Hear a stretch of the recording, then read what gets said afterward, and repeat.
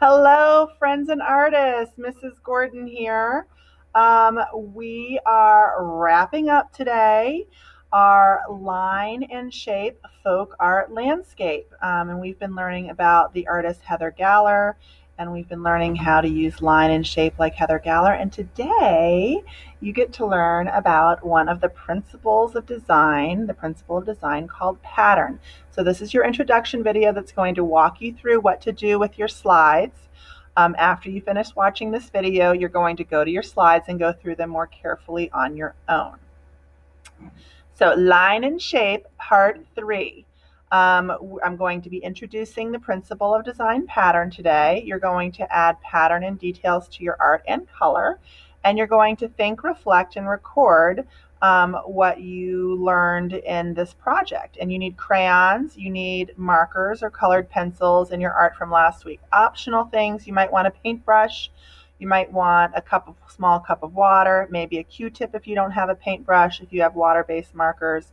I'm going to be showing you some ways that you can add color and pattern. You definitely need crayons, and you might need like a black um, waterproof marker like a Sharpie.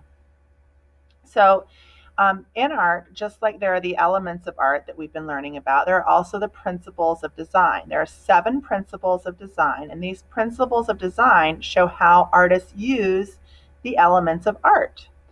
So, using the elements of art, they can create balance, contrast, emphasis, movement, pattern that's what we're talking about today rhythm, and unity. Principle of design pattern. One principle of design is pattern. Pattern is when you repeat any of the elements of art over and over again. Um, these are all examples where you're repeating line or you're repeating shape. Um, you could repeat color. Um, but mostly when we're talking about pattern, we're talking about line and shape, and we might um, involve color in that as well. So when you get to this slide, you're going to watch this video to learn more about pattern from Robot Art School.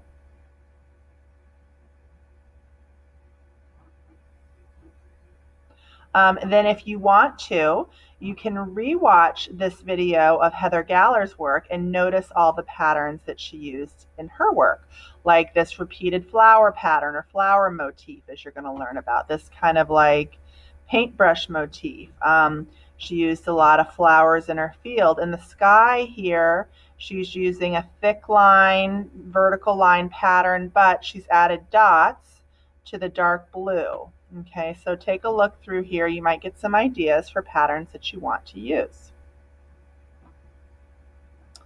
All right, so taking a look here at Landscapes by Heather Galler, look at this art by Miss Galler. How many different patterns can you see? So many. I see polka dots and stripes and different kinds of stripes, bumpy lines and checkerboard patterns and so many different kinds of patterns. I love how she used the bumpy line on the tree, how she creates even a pattern in her sun.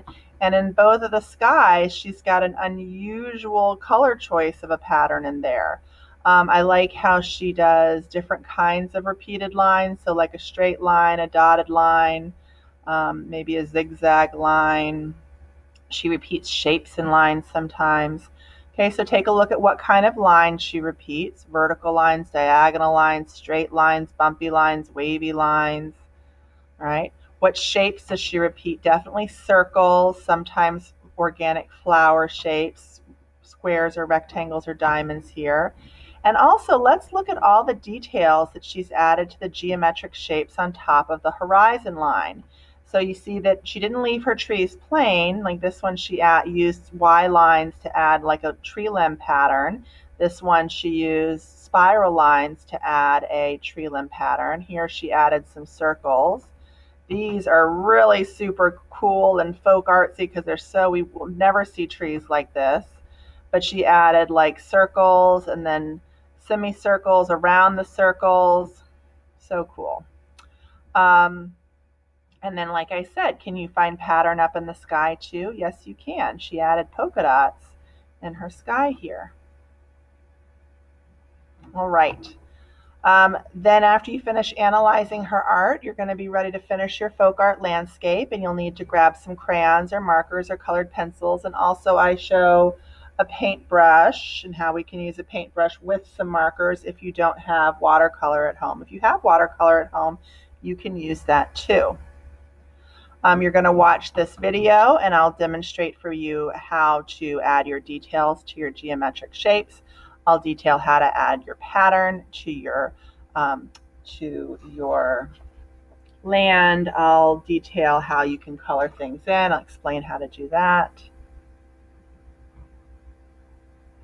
When you're done, you're going to keep your art in a safe place. Uh-huh. And um, so you can bring it to school, right? This is your last week of virtual art at home, and next week you're going to be coming into school. Um, so we're going to talk about that in just a minute, what you need to do. But in the meanwhile, think about these questions. When you thought about what elements of art did you learn about, and when you talked about what did you learn about art or the artist, maybe you learned about a principle of design today. Who knows? Um, and then how did you make your art? Remember, did you draw today? Did you paint? Did you draw and paint?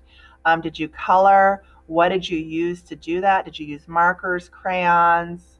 What and what did you add? What were you drawing or coloring today? Patterns, maybe, details, you know. Then you're going to click here to record your answer and receive credit. Next week, coming back to school. Yay, I am so excited to see you. Um, you need to bring the two art pieces that you've done at home so far this year. So your Bitmoji U and your um, landscape. You're going to need to bring your art journal.